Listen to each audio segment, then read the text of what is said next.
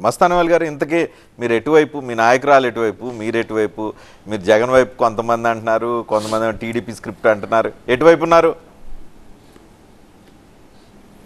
ఇప్పుడు నేను మేము ఎక్కడున్నాం అనేది కాదు ఈ దేశం ఈ దేశ ప్రజలందరూ కూడా తెలుసు కాంగ్రెస్ పార్టీ ఎవరి పక్షాన ప్రజల పక్షాన ఉన్నటువంటి ఏకైక పార్టీ దేశంలో. ఆంధ్రప్రదేశ్లో. నరేంద్ర మోడీ ప్ర- ఆంధ్రప్రదేశ్లో కూడా ఆంధ్ర రాష్ట్ర ప్రజల కోసం పనిచేస్తున్నటువంటి ఏకైక పార్టీ నరేంద్ర మోడీ భజన చేసేటటువంటి పార్టీలు ఇవాళ మీ ముందున్నారు. ఇంకొకళ్ళు కూడా ఉంటే సంతోషించేవాడిని. తెలుగుదేశం పార్టీ కూడా ఈ డిబేట్లో ఉంటే చాలా సంతోషించేవాడిని. ఎందుకంటే ఈ మూడు కూడా రన్నింగ్ రేస్లో ఉన్నాయి. చంద్రబాబు నాయుడు గారు పవన్ కళ్యాణ్ గారు తెలుగుదేశం జగన్మోహన్ రెడ్డి గారు ఎప్పుడు నరేంద్ర మోడీ గారు కనబడతారా? ఆయన వీక్ష కటాక్షాలు పొందుదామా? ఆయన ఎప్పుడు కనపడతాడా కాళ్ళ మీద పడదామా?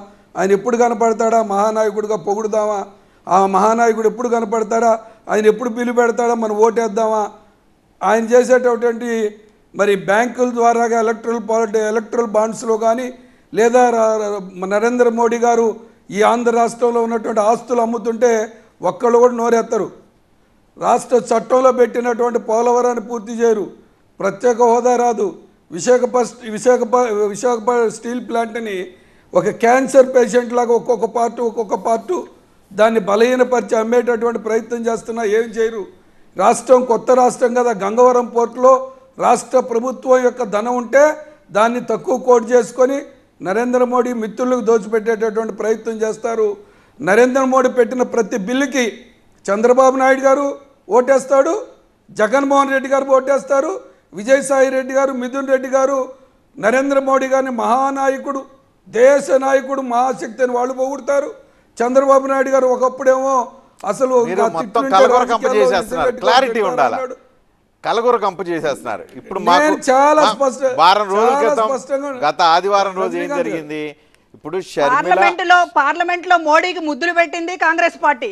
హైదరాబాద్లో మోడీని పెద్దన్నాన్ని కీర్తించింది కాంగ్రెస్ పార్టీ. ఏపీలో కాంగ్రెస్ పార్టీ బీజేపీని విమర్శించకుండా ఎంతసేపటికి చంద్రబాబు జగన్ని తప్ప మరి చంద్రబాబుని జోలికి కూడా వెళ్ళకుండా జగన్ని తప్ప బీజేపీని విమర్శించరు. బీజేపీని కాపాడుతున్నటువంటి చంద్రబాబుని మీరు విమర్శించరు. మోడీ గురించి మాట్లాడతారు డిబేట్లకు వచ్చేటప్పటికి. అమ్మా పద్మ గారు పద్మ గారు ఒక్కసారి ఏనండి మీరు దయచేసి ఒక్కసారి మీరు మీకు ఏమైనా కనపడకపోతే నేను ఇప్పుడు నా దగ్గర ఇవాళ పొద్దున మాట్లాడింది చూపిస్తా రజనీకాంత్ గారు వీడియో షర్మిల గారు మాట్లాడింది. భారతీయ జనతా పార్టీ నరేంద్ర మోడీ గారి యొక్క దుర్మార్గ రాజకీయ ఆలోచన విధానాల్ని ఎందుకు మాట్లాడట్లేదని చెప్పి ప్రశ్నించే ప్రయత్నం. జగన్మోహన్ రెడ్డి గారు ఎప్పుడైనా మోడీ గారి గురించి కానీ ఒక్క విమర్శ చేసినట్టు ఒక్కటి చేయించమనండి. పద్మ గారికి నేను చెప్తాను. వీళ్ళ విజయ్ మోదీ సాయి గారు కూడా ఏం చేసినట్లేరు. నేను- చెప్తాను. నేను ఒక్క మాట ఒక్క మాట మీరు నన్ను నాకు టైం ఇవ్వాలా. అరగంట వాళ్ళిద్దరికే ఇచ్చారు లేటుగా నన్ను వచ్చారు. మాట్లాడియండి మీరు లేటుగా జాయిన్ అయ్యారు. ఏదైనా పా- నా పార్లమెంట్లో లేదు లేదు లింకు లింకు సరిగ్గా కుదరలేదు సార్. మోడీ పార్లమెంట్లో కానీ లేదా ప్రత్యేక హోదా గారికి మెడలు వంచి మెడ మీద కాలు పెట్టి ఇరవై ఐదు పార్లమెంట్ స్థానాలంటే ఇవాళ ముప్పై ముప్పై నాలుగు పార్లమెంట్ స్థానాలు ఉన్నాయి రాజ్యసభతో కలిపి. ఎన్నిసార్లు మెడల మీద కాలు పెట్టి ప్రత్యేక హోదా తెచ్చారండి తిరుపతిలో పది సంవత్సరాలు ఇప్పుడు నడుస్తున్న చరిత్ర గురించి కూటమయ్యారు. మరి ఇంకే నరేంద్ర మోడీ కూటమయ్యారు. బీజేపీ జనసేన? కూటమయ్యారు. ఇప్పుడు మీరు ఎటువైపు ఉన్నారు? ఇప్పుడు మీ మీద ఒక్కొక్కళ్ళు ఒక్కొళ్ళు వచ్చి డౌట్ నేను వైఎస్ఆర్సీపీ చెప్తుంది. సజ్జల రామకృష్ణారెడ్డి చెప్తున్నారు. మీరు. తెలుగుదేశం స్క్రిప్ట్ చదువుతున్నారు. మోదీ వచ్చి చెప్తూ ఉన్నారు వైఎస్ఆర్ కాంగ్రెస్ పార్టీ మీరు ఒకళ్ళని మీ గురించి క్లారిటీ అడుగుతున్నాను ఇప్పుడు.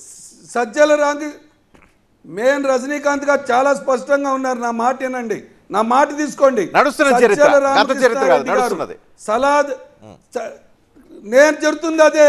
సజ్జల రామకృష్ణారెడ్డి గారు ప్రభుత్వ సలహాదారుడుగా ప్రశ్నించడం కాంగ్రెస్ సలహాలు ఇవ్వడం కాదు. కాంగ్రెస్ ప్రశ్నించడం కాదు.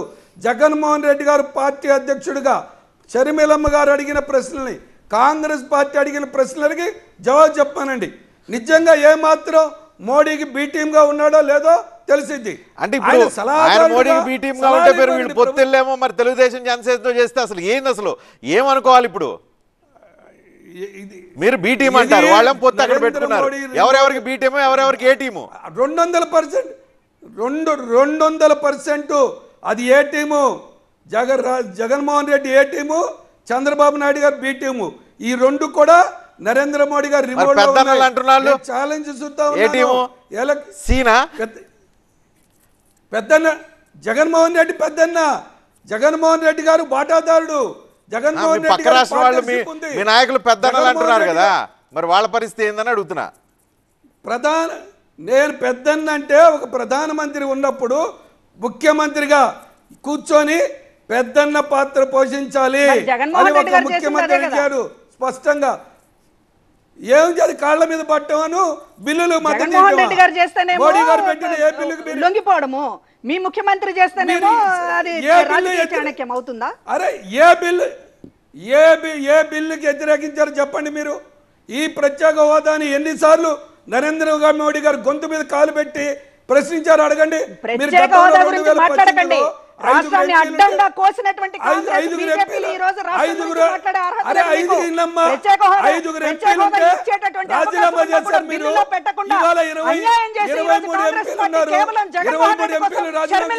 రాజకీయం చేస్తున్నారు మీరు. రాష్ట్రాన్ని తీసుకెళ్ళి రాష్ట్రాన్ని తీసుకెళ్ళి నరేంద్ర. మోడీ గారు తాకట్టు. మాట్లాడతారు పాపానికి?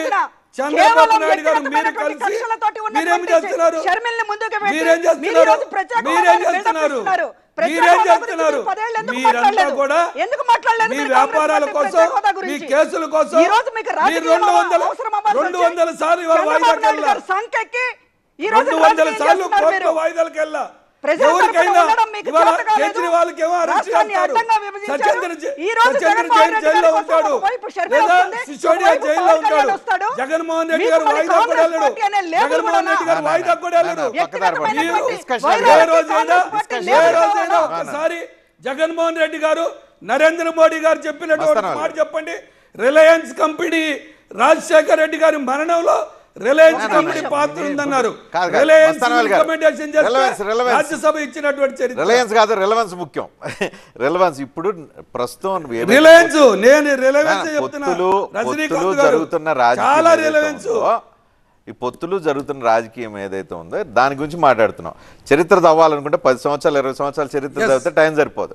అది కాదు ఇప్పుడు ఏంటంటే ఇప్పుడు క్లియర్ ఇప్పుడు వాళ్ళ పొత్తులో ఉన్నారు. మూడు నెలల కిందట పవన్ మూడు నెలల కిందట జగన్మోహన్ రెడ్డి గారు ఢిల్లీ వెళ్ళి అలయన్స్ మా దగ్గర ఉన్నాయి. ఎవరు ఏం మాట్లాడారు అనేటువంటిది? వాళ్ళకి ఎవరికి ఊరేశారు?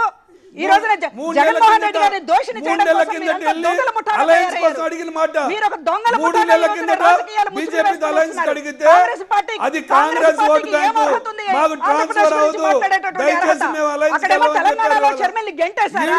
కాంగ్రెస్ పార్టీ ఈ రోజు జగన్మోహన్ గారిని గురించి చెప్తారా మీకు గారు అడిగే ఒక ప్రశ్న సమాధానం ఒక్క ప్రశ్న చెప్పండి షర్మిల గారు అడిగేటట్టు. వివేకానంద రెడ్డి గారు సొంత బాబాయిని హత్య చేస్తే ఐదు. సంవత్సరాలైంది దాని మీద ఇంతవరకు క్లారిటీ లేదు ఇంతవరకు క్లారిటీ ఇంతవరకు క్లారిటీ. జగన్మోహన్ రెడ్డి గారు ఎన్ని కేసులు వాయిదా చెప్పండి. ఎన్ని కేసులు రాష్ట్రం మీద ప్రేమ ఉన్నట్లు. ఎన్ని కేసులు వాయిదా అడ్డంగా అడ్డంగా వెళ్ళడు కేసులు. మాఫీ కావాలా కేసులు మాఫీ కావాలా వీళ్ళకన్నిటికీ. నరేంద్ర మోడీ గారికి. వీళ్ళతో. వాళ్ళు అలయన్స్ పార్ట్నర్ వీళ్ళు వ్యాపార చేయాలి. వీళ్ళు మీరు భాగస్వాములు వీళ్ళు వ్యాపార వాళ్ళు